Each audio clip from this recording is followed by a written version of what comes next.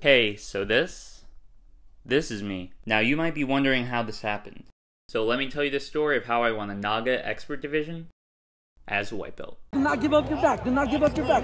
Push him forward. Push him forward. Push him forward. There you go, Josh. Careful with the legs. Uh, this story all starts me signing up for this competition, and I see that on my side of the bracket there are two brown belts, and my first match is against one of them.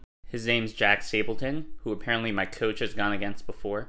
And the one piece of advice he gave me was watch out for that flying stuff. So you already know it's gonna be a fast paced match. There we go. Keep fighting that frame. Keep fighting that frame. The match starts off, and my coach's advice is already coming in handy. Jack goes for a rolling Kimura, but he's not able to get the grip, so I can just come on top. That's a sweep for me, according to NAGA, so I get two points. I try getting head control and going for a knee slice, but he's able to regard. He underhooks my leg to try entering into some leg lock position, so I drop my weight down to give him no room. Keep fighting that frame.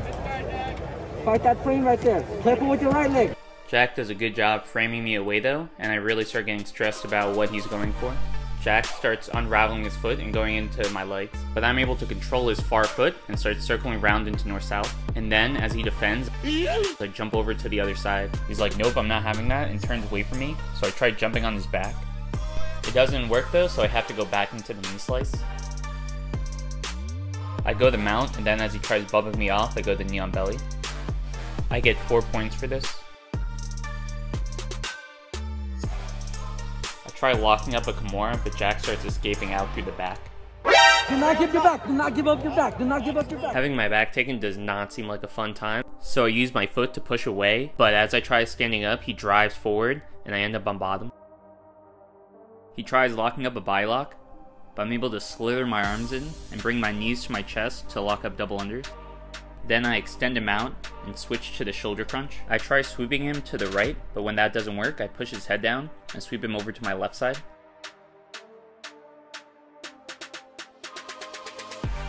Jack bumps my weight forward and enters into honey hole. I'm like, oh crap.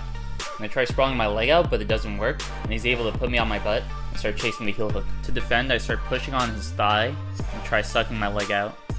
I get my leg free and we have a bit of a scramble.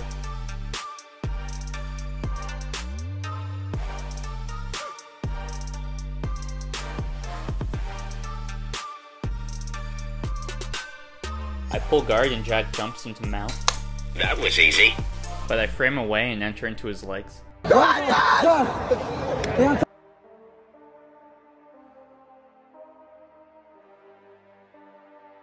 Careful with your own legs. Josh, 10 seconds left. Careful with your legs, Josh. Stay everything tight. Five seconds left, Josh. Keep tight, keep tight. Keep tight, keep tight, keep tight. Come on, Josh. Beautiful work, Josh.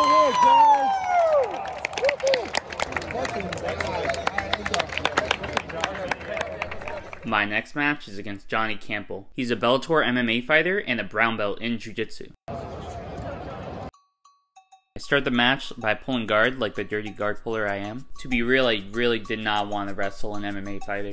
He hits me with an absolutely brutal can opener. My back was in so much pain in the car ride home after this.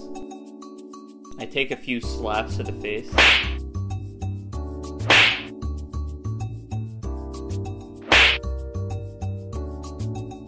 He gets a really annoying wrist grip and tries passing my guard.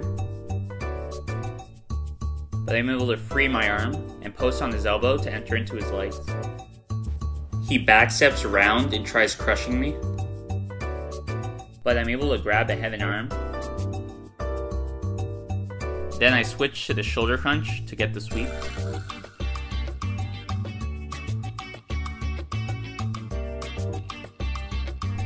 I start trying to knee slice. When I'm going for the knee slice, I'm trying to bring my head to his shoulder and get a head and arm so I can flatten him to the mat and pass his guard. He's trying to frame me away, so notice how my leg is based out far so it can help me drive into him. I try hitting a hip switch. Then I go back into the knee slice.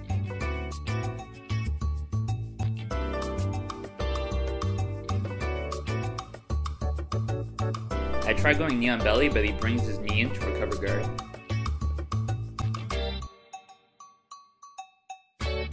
he hits a scissor sweep, leaving me on bottom. He tries pulling out of my guard and I hit a double ankle sweep.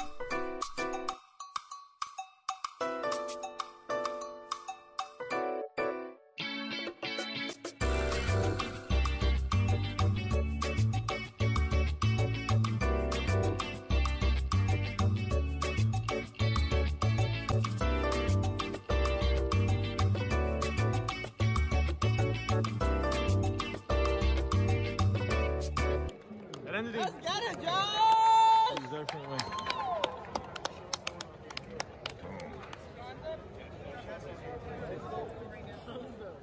There was just one more match before I could get that coveted NAGA belt. So who would my opponent be? He wasn't a purple belt, he wasn't a brown belt, and he wasn't a black belt either. No, he was scarier than all these things. He was a staller. So this stalling persisted on for a while, and the score just stayed 0 0 until he got a point for the fakest submission attempt I've ever seen. My man was literally just overhooking my foot, but he still ended up getting a point.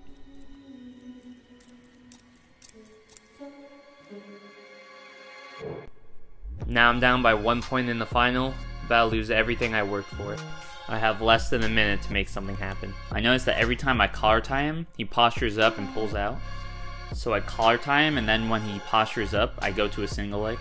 I go to trip him, but we end up just getting reset. I pull guard, though honestly I should have just wrestled at this point. But something crazy ends up happening. 30 seconds, you need two points! Get up. You need two points, Josh. Josh, stand up. Stand up, Josh, and go for Stand up.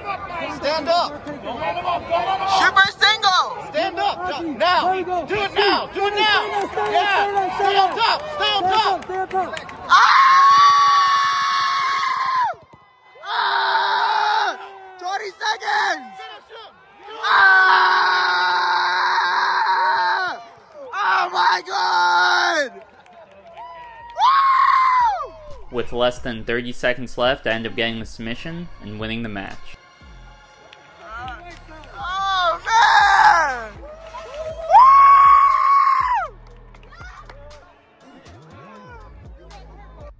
So that's the story of how I won NAGA as a white belt. If you enjoyed, make sure you like and subscribe for that YouTube algorithm. You're a real one for making it to the end. I'll catch you next time. Peace.